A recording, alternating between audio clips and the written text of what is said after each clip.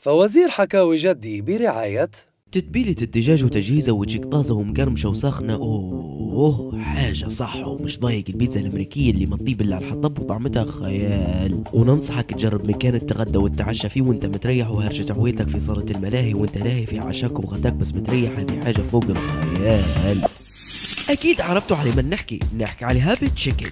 بنغازي بالعون بجوار جامعة العرب الطبية. البيضة قرب الإذاعة خلف مصرف الأمان. طبرق ميدان الشهداء جنب مصرف التجارة والتنمية. شحات الطريق الرئيسي مقابل شركة البريد.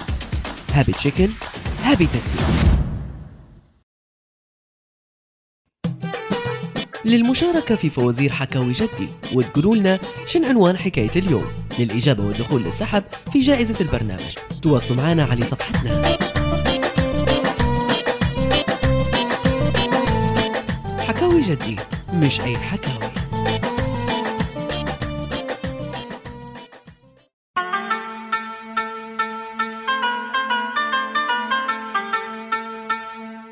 بسم الله أول ما بدانا صلى الله علينا بينا نحن كل نهار معانا مغزى في سر حكاوينا.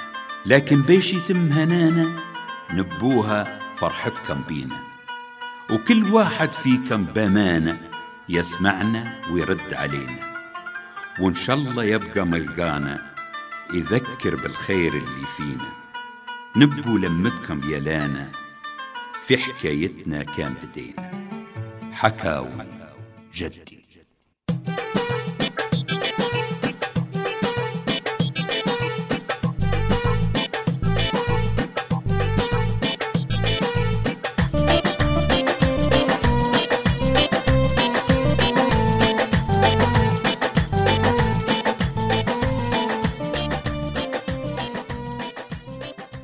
جدي جدي يا جدي. انعم يا ثوم انعم أنا هنا قاعد كانك آه إيش آه, فيه. آه جدي. شو رأيك في الرسمة الحلوة دي؟ ها خذها هاي شوف. وين يبا ترى وريني ترى.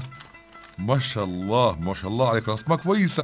لكن كأنك خش منفجع فجعتني معاك يا ليت يا سيدي في المدرسة شو قالوا لنا قالوا بيديروا مسابقة خاصة بالمواهب. اللي موهب مثلا في الغناء في في الرسم في أي شيء. وأنت عارف ان موهبة الرسم؟ واللي واللي واللي يفوز في المسابقة هذه ياخذ جائزة كبيرة. وسمحة. تحكي جدياته. وين انت تبي تشاركه؟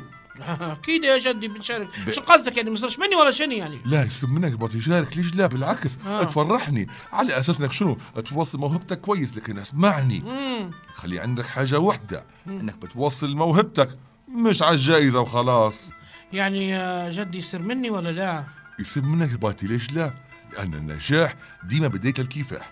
والإنسان اللي كافح وشك في طريقة بعزيمة لازم إنه يوصل لغايته ولأن المستحيل ما فيش إلا في عقول الناس العاجزة. لازم يكون عندك إصرار واجتهاد ووسعة بال طبعا ليش؟ لأن طريق النجاح ديما طويلة وتبي صبر. الصبر أيوه صدقت يا جدي. باهي شنو زعمك ال- ال- الرسمة اللي نشارك فيها يا جدي؟ الرسمة اللي تحس فيها أنت من جوا. لازم تفكر في رسمة تعبر عن إحساسك وعن الحاجة اللي تدور في شنو؟ في خاطرك. وهنا نبيك توصل إحساسك مش توصل حاجة بها غيرك. وصدقني يا سلومة شوية اجتهاد وصبر حتوصل للي تبيه والمشاركة في هالمسابقة هي أول خطوة في الاجتهاد. ولازم تفوز يا ولدي لازم. أكيد أكيد يا جدي باهي تو خليني ناخذ هالوريقه هذه ونعدي نمشي نرسم. أرجع. آه. قبل ما ترسم شو رأيك نحكي لك حكاية تعلم منها شي حاجة على الاجتهاد والعزيمة آه، حكاية يعني على ال- الاجتهاد أيوة. نسمعه قبل نرسم هاي؟ اسمع يا وليدي نعم. يا سيدي قال لك يحكى من زمان أن في حطاب طيب وفقير. وهالحطاب كان مخلص وعايش على مهنته وفي كل يوم يقطع في الحطب ويبيع فيه؟ عارف شو الحطاب أنت لا اللي يقطع في في الشجر والحطب بضمه ما. شاء الله عليك. وفي يوم من الأيام كان في الملك بتاع القرية هذه داير حفلة كبيرة وعازم فيها الناس كلها. جاء هذاك الحطاب للحفلة وقال بنحضرها. وفي وقت الحفلة هذاك الحطاب شاف أميرة قاعدة غادي تمام؟ وتم شنو؟ يدزلها في رسائل والأميرة تدزلها في رسائل مع من؟ مع الخدام. أميرة هذه بنت الملك يا جدي بنت الملك ما شاء الله عليك. شاطر وليدي شاطر. آه. تم يدز في الرساله وهي تدز له في الرساله جاء يوم من الأيام قال لها أنا يا أميرة حاجي نخطبك من الملك واللي يصير يصير. ما انت عارف هو حطاب فقير وهي بنت الملك فخافت عليه. قالت له أنا نخاف عليك راهو شنو؟ بغيت يقتلك ولا يدز لك شي حد وينتقم منك. عشان هو فقير. عشان هو فقير. آه. قالها أنا حنمشي وكيف ما تجي عاد هذاك الحطاب المن للملك الملك. وقال له يا ملك أنا نبي نطلب يد بنتك. الملك شنو صار له؟ غضب وقعد يفنص ويهذب كيف؟ أنت من؟ وإحنا من؟ قال له أسمع مم. تبي بنتي؟ تو نجيب لك ورقتين. ورقه مكتوب فيها إنه يتزوج الأميرة ورقه مكتوب فيها اعدموه. اعدموه؟ آه قال واللي تختارها هي اللي نطبقوها شنو؟ عليك. به. هذاك الملك حدد يوم من الأيام قدام الناس كلها. قال له هذاك اليوم هو حيصير فيه شنو؟ الاختيار. لم الناس والتموا وجاء الملك وجاء الحطاب وجت الأميرة. داروا ورقتين. ورقه فيها. آه. اعدموه. آه. ورقه فيها يزوج الأميرة. جت الأميرة تجي وشوشت المن وشوشت له في وذنه قالت كذا الورقه الاخرى فيها حتى هي آه، اعدموه. ما شاء الله عليك. شاطر بليدي ما شاء الله. قالت له اعطني حطاب له الورقة. الورقتين فيهن شنو؟ اعدموه. فخليك فطني. قعد يفكر شنو ندير شنو ندير. عاد إيش؟ قال؟ هيا نبدا المسابقه عدى هذاك الحطاب زقب على الورقه وكلاها وزمطها. تمام. قولي ليش كلاها وزمطها؟ آه، فيها اعدموه. لا تو نقول لك شنو آه. طلعت الورقتين فيها عدموه آه. هو شاطر زمط الورقة. الملك جاء قال له طيب كيف حنعرفوا أنت شنو اللي زمطها؟ قال لا شوف كأنك اللي لقيتها. أعدموه معناها اللي زمطها زوزوه الأميرة. وكان لقيت فيها زوزوه معناها أعدموه. شاطر. شن دار بعدها؟ فتحوا الورقة لقوه أعدموه. قالوا معناها اللي زمطها شنو؟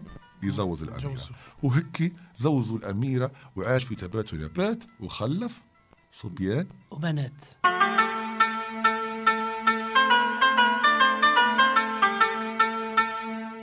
هيك تمينا حكايتنا. شكرا للي تابع فينا. غير العنوان لحلقتنا عنكم بالعاني خضينا تتصلوا هذه فكرتنا. تقولوا عنوان حكاوينا. في كل حكاية غايتنا نحكوا عن صيفة تعنينا. بكرة تجدد لمتنا.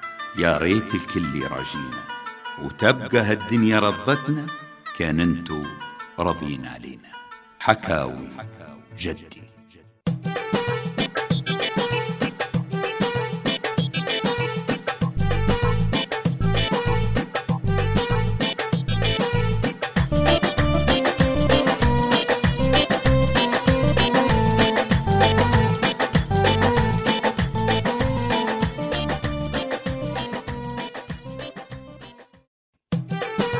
للمشاركة في فوازير حكاوي جدي. وتقولوا لنا شن عنوان حكاية اليوم. للإجابة والدخول للسحب في جائزة البرنامج. تواصلوا معنا على صفحتنا. حكاوي جدي مش أي حكاوي. فوازير حكاوي جدي برعاية تتبيلة الدجاج وتجهيزه وتجيك طازة ومقرمشة وساخنة أوه حاجة صح ومش ضايق. البيتزا الأمريكية اللي مطيب اللي على الحطب وطعمتها خيال. وننصحك تجرب مكان التغدى والتعشى فيه وانت متريح وهرجة عويتك في صالة الملاهي وانت لاهي في عشاك وغداك بس متريح. هذه حاجة فوق الخيال. أكيد عرفتوا على من نحكي. نحكي على هابت تشيكن. بنغازي بالعون بجوار جامعة العرب الطبية. البيضة قرب الإذاعة خلف مصرف الأمان. طبرق ميدان الشهداء جنب مصرف التجارة والتنمية. شحات الطريق الرئيسي مقابل شركة البريد. هابي تشيكن هابي تستي